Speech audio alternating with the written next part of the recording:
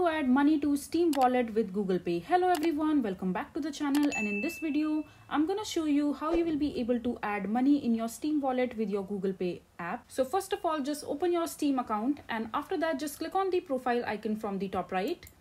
And here just go to the account details section and just click on it. and over here you will see the option called add funds to your steam wallet under the stores and purchase history so just tap on it and now and on the right hand side in your steam account you will see these two options like see my account details redeem a steam gift card or wallet code. So just click on redeem a steam gift card.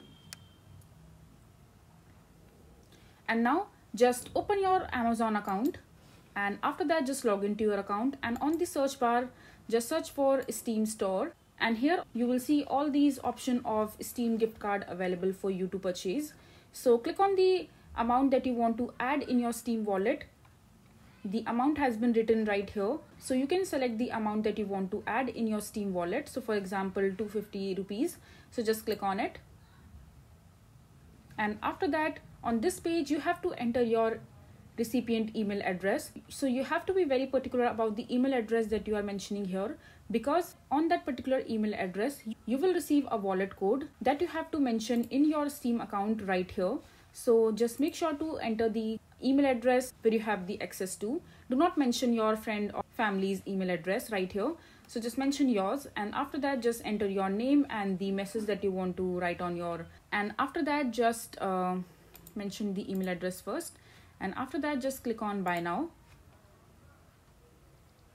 And here on this page you will have all these payment method available. So um, in order to buy this gift card through your google pay you need to have a upi id but as you can see that the upi option is not available in the web version of the amazon.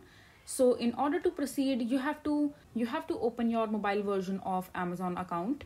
Then you can complete your transaction while uh, making a purchase google pay account or any other upi account that you have. And once you're done purchasing the steam gift card just come back to your steam account and paste the wallet code that you have received on the email address that you have mentioned while purchasing the gift card from your amazon account and once you are done mentioning the wallet code just click on continue and after that the fund will be added to your steam wallet so this way you will be able to add money in your Steam wallet with your Google Pay. I hope you find this video to be helpful. So that is it for this video. If you find this video to be helpful, make sure to hit that like button and don't forget to subscribe to our channel for more such informative videos and I'll see you the next time.